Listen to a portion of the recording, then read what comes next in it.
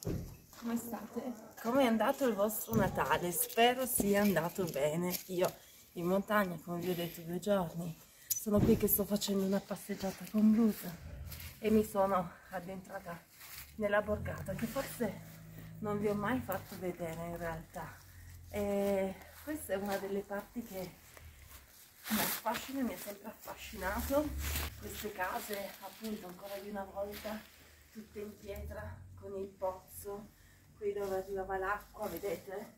L'acqua praticamente dal pozzo poi scivolava qui in questa scanalatura scendeva qui nell'acqua e poi si poteva raccogliere. Eh, dicevo in realtà adesso è, è un pochettino pericolante quindi non è che si possa stare tanto sotto però mi ha sempre affascinato anche come erano state costruite, vedete, con legno, con la pietra.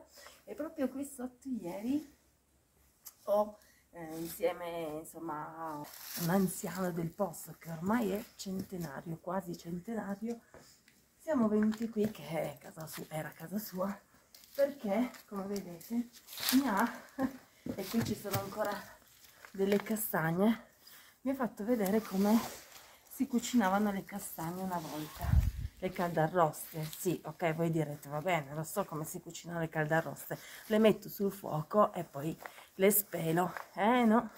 Perché c'è tutta una preparazione. Intanto l'uso eh mangia le castagne anche tu. Intanto vi faccio vedere ci sono ancora anche le pentole. Aveva raccolto delle castagne le ha messe in un secchio in acqua e tra l'altro io non sapevo mi ha detto che le castagne, quelle cattive, praticamente vengono a galla, quindi quando vengono a galla si tolgono e non sono buone da cucinare. Una volta lasciate in ammollo per un 20 minuti circa, le ha tolte, le ha messe in quest'altra pentola. Diciamo che questo, questo paiolo catino, guardate che bello, eh, ancora di altri tempi. Quindi abbiamo messo le castagne che erano state in ammollo nella pentola, quella classica bucata da caldarroste, abbiamo acceso il fuoco e le abbiamo fatte praticamente andare, eh, cuocere, bruciare e anche lì io non sapevo perché io a casa le faccio, alzo il gas a mille, il fuoco a mille, poi una spadellata, 10 minuti quando le vedo belle nere e praticamente le tolgo, invece lui mi ha detto no, perché bisogna farle cuocere comunque a fuoco alto ma anche lì per una ventina di minuti. Però avendole messe in ammollo prima nell'acqua dentro rimangono più morbide. Comunque fatto sta che dopo averle tolte dal fuoco io pensavo che le potessimo mangiare. Quindi le abbiamo versate in questa pentola e bollenti quando erano ancora calde però si pelavano benissimo le abbiamo pelate tutte quante. Ma le abbiamo messe ecco tra l'altro qua vedete tutti i resti che sono proprio quelle che ho, ho pelato io. Queste erano brutte quindi quelle brutte le abbiamo buttate. Dicevo dopodiché le abbiamo messe io dico grilletto ma è un recipiente così diciamo anche un po' di parole non proprio italiane. In un recipiente e io ho detto vabbè buone possiamo mangiarle ho detto no adesso le facciamo zuccherate con il liquore. Col liquore ho detto io ma sono buonissimo praticamente sotto spirito. Quindi in questo recipiente ci ho messo le, le castagne spelate poi ci ho aggiunto dello zucchero del rum ok quindi ci ho aggiunto del rum. E infine ci ho aggiunto questo che io ho detto ah è alcol. Lui mi ha detto no non è alcol. E ha un odore particolare che è tipo un misto di grappa. Ha detto anche il nome che non mi ricordo in piemontese.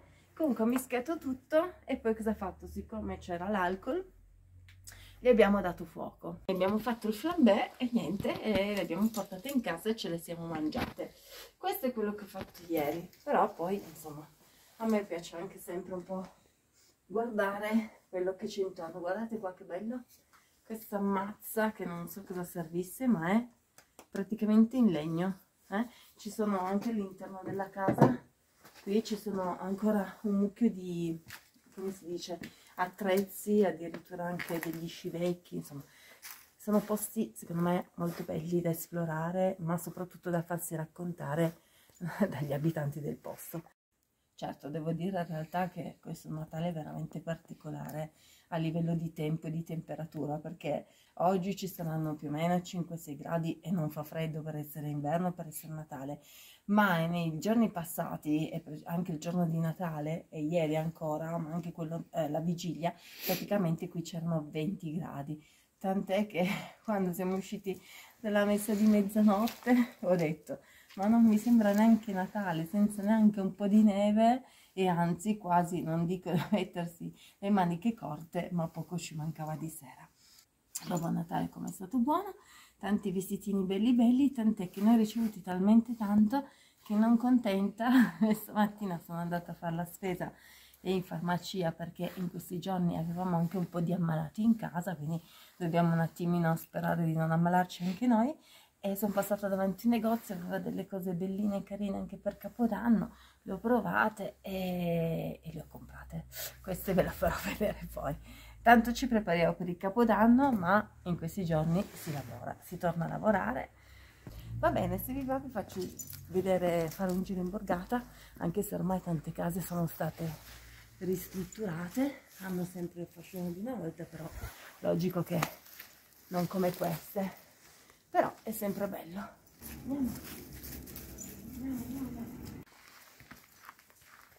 Come vi dicevo una parte è stata restaurata rimessa a posto all'inizio qua in questa casa rosa. Ci dormiva la nonna tantissimi anni fa. Che bello invece dopo questa casa qui è la casa dell'anziano della, della borgata che vi dicevo quasi centenario che dove abitava. E dentro ancora insomma ci sono un po' di attrezzi che lui fa vedere ai più in alcuni tour guidati e ciarea. Naturalmente ciarea eh, in piemontese vuol dire salve buongiorno. Ciarea ciarea un saluto ciarea.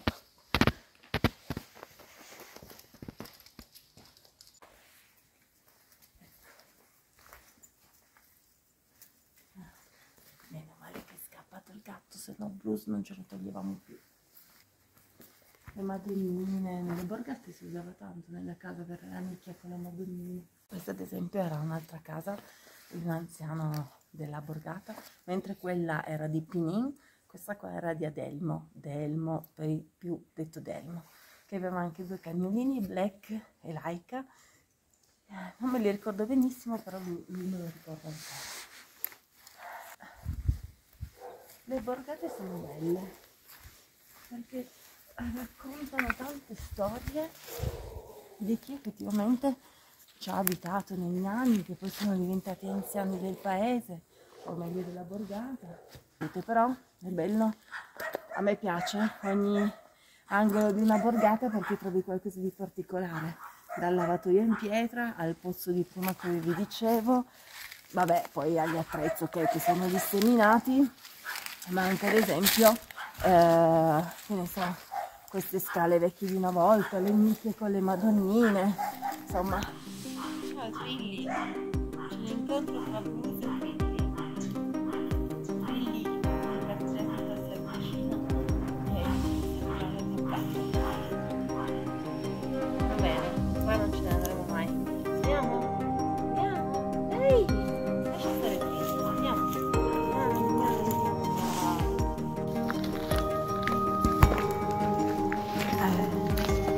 una borgata non proprio tanto grandissima, eh?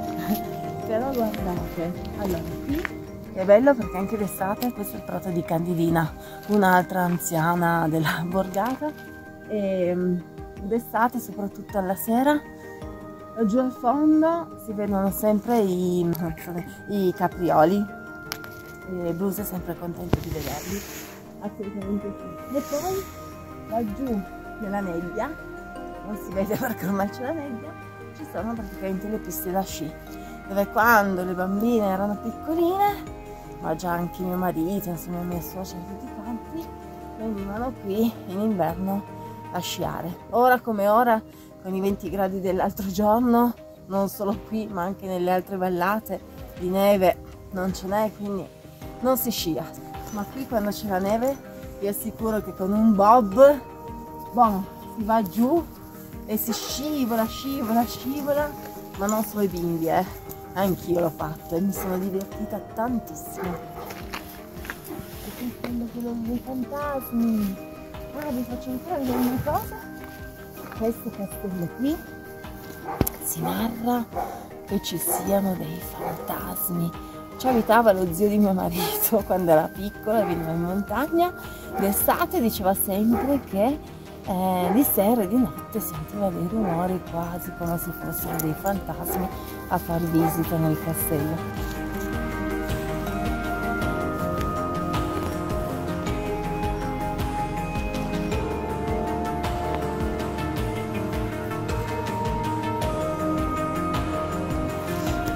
Oh, mentre sto andando alla ricerca dei caprioli no vabbè volevo solo farvi vedere sapete vi ho detto prima che insomma un, un Natale anomalo per le temperature perché c'erano appunto eh, ci sono stati più di 20 gradi. E proprio eh, la vigilia di Natale anzi l'antivigilia di Natale qui da noi è arrivato un fan fortissimo eh, che insomma ha praticamente fatto, causato grandi danni soprattutto in montagna. Come vedete tanti alberi sono stati sradicati non solo questi ma anche altri più importanti.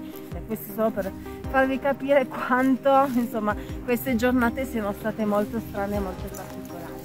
Qua no, non sono scesa col bob perché vi dicevo non c'è la neve però è anche bello insomma camminare anche nel, nel bosco del Patriciello per poi insomma si arriva noi chiamiamo la rocca verde che non è nient'altro che un matto, una rocca dove insomma, anche nelle belle giornate limpide è piacevole stare lì e ammirare sia il sangone che c'è sotto, quindi il fiume, ma anche praticamente tutta la vallata.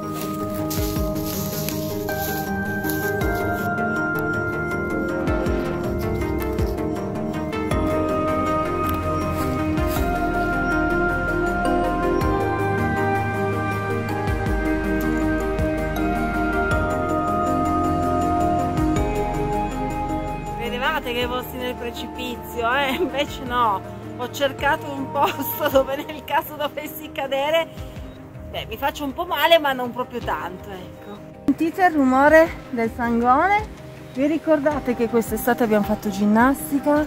Eh, vi ho fatto vedere anche eh, un po' di luoghi tipo la cartiera abbandonata, eh, il sole eh, che ho preso, bene, eravamo praticamente e poi ancora là sotto dove c'è l'altra parte di fiume perché c'è il sangone e il sangonetto. Quindi da qui vedete anche un po' la vallata e i luoghi dove vi ho fatto vedere quest'estate così avete anche un riferimento dall'altro dall'altro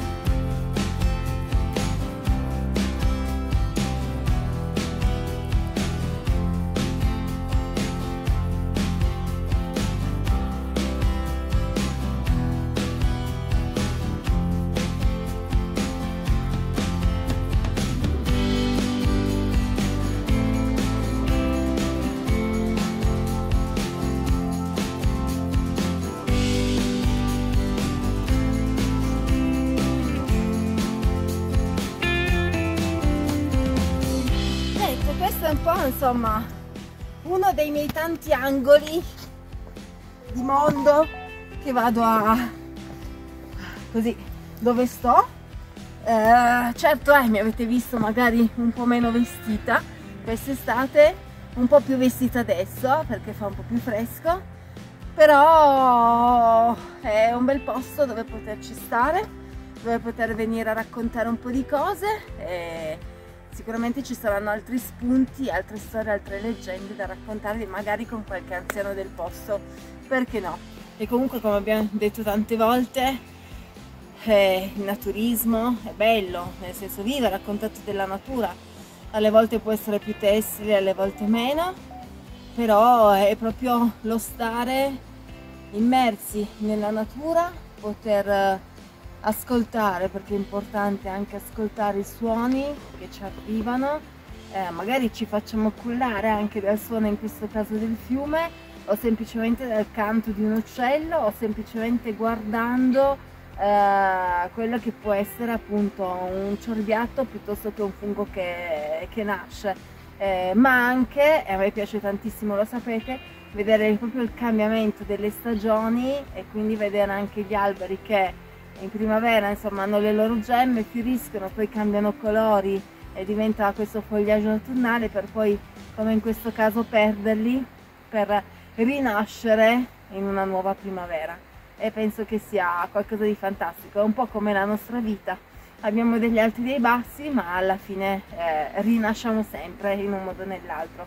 L'ho detto l'altra volta per me è importante ed è bello poter avere una community come voi dove veramente siamo un gruppo di amici che hanno la passione in questo caso per la natura, per il naturismo ma hanno la passione per, eh, per gli altri cioè si, si, si danno, si concedono agli altri senza chiedere nulla in cambio e amano stare insieme agli altri e conoscerli più a fondo. E mi sembra che questo 2024 sia stato un 2023, scusate, sono già avanti. 2023 sia stato un bell'anno in cui abbiamo condiviso tante cose. Io magari alle volte ho avuto un po' di, di bassi, mettiamola così, ma voi mi avete risollevato. Spero che il 2024 ci porti ancora tante cose, tante belle sorprese, tanti bei luoghi da raccontare, tante storie anche da scrivere, così come ginnastica, ricette e chi più ne ha ne mette, insomma che abbiate sempre per me un occhio di riguardo nel volervi raccontare e, e io nel volermi raccontare a voi. Eh, però sono anche curiosa di sapere come è andato il vostro Natale e cosa avete trovato sotto l'albero. Io sicuramente ho trovato tanta pace. Blues vieni? E andiamo. Con questo vi saluto ma sicuramente abbiamo ancora modo di farci saluti prima della fine dell'anno e poi vi devo far vedere cosa mi ha portato Babbo Natale. Quindi ci si rivede presto. Torno su perché la tisana mi aspetta davanti al fuoco. Ciao